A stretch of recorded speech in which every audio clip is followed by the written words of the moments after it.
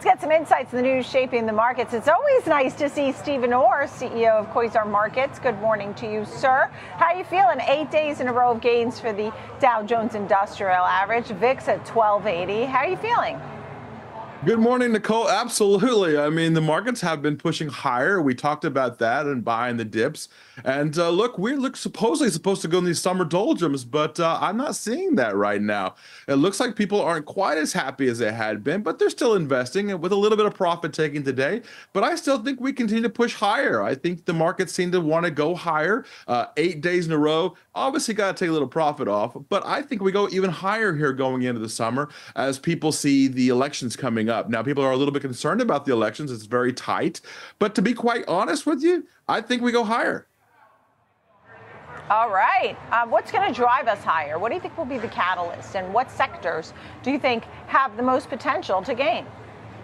Yeah, it's obvious. Tech, tech, tech. We're already seeing that in the semiconductor space already. NVIDIA pushing up here as well. Uh, but I have two big picks today, and we'll talk about that too as well, as I believe tech is still going to go higher. Um, it is pushing the limits. Um, we saw Apple coming out with the new iPad, uh, the new pencil. I think we're gonna, really going to move higher with tech. All right. Well, I do want to hear about the names that you're bringing us today. Give us the first one.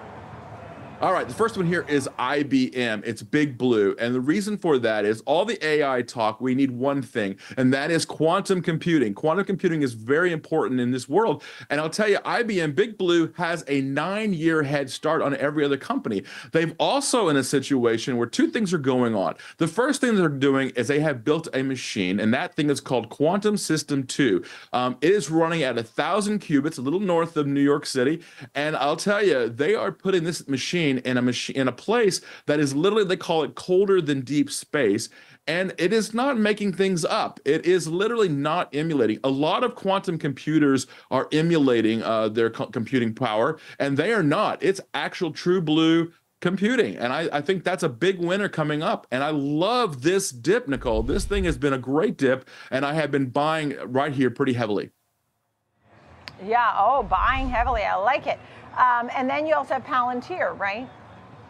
Yeah, you know what? Palantir is also another AI name. And I'll tell you, one of the things they had a beat on earnings 21%, another dip buyer here, I think. But here's the one thing when I look at companies, when I look at their stocks, when I look at the actual bottom line, is cash flow. And they have $4 billion cash on hand. That's a lot of money and no debt. So they literally can be bought here on this dip. I like Palantir for the AI name too, as well as they have a lot of customers, including the United States government, and that's always a big customer. So I do like Palantir here. What do you think about a portfolio? You talk about portfolio optimization. Really, yeah, you know, what one the thing optimal I, portfolio looking like? Yeah, you know, that's a very good point. Uh, with quantum computing, I do believe that the machines will actually be able to look at a person and say, okay, I know what you like, I know who you are, and I will make my portfolio around you, actually. And so they will have some portfolio optimization. Now, in a portfolio right now, before quantum computers comes out, I think right now that a person should be a little longer than they expected right now. We are seeing a little bit of profit taking here on Friday, but honestly, I'm I'm buying every dip going into this. Um, consumer confidence has gone a little bit lower, and we are seeing a little bit of a dip here. And unfortunately, some people have lost their jobs over the last uh, week or two. But I, I think the markets are still good. They're, they're pricing this in, and I still think we're going to see two rate cuts uh, coming here before December. Tell me about November. Um, not as a political person, but as a um, investor. Yeah, what as are you an investor. watching? How are you positioning? What do we need to know?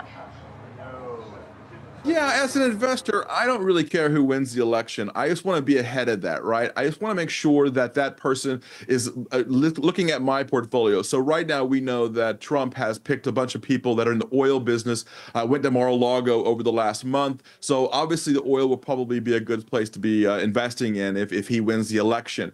If Biden wins the election, obviously, electric vehicles will continue to push higher. Um, I think you'll start to see companies that have been beaten up, like Rivian, will start to move higher too as well. Uh, I personally just bought a hybrid myself. We bought a, a BMW X5, the hybrid. We've moved away from gasoline ourselves. So, look, I think that the EV space for Biden and I think oil space for Trump. All right, I'm writing that down. Thank you. Trump also said, if you want crypto, you should pick me. I don't know. We'll see what happens. But I'm looking at it on the market side of things. Steven Orr, great to see you. Thank you.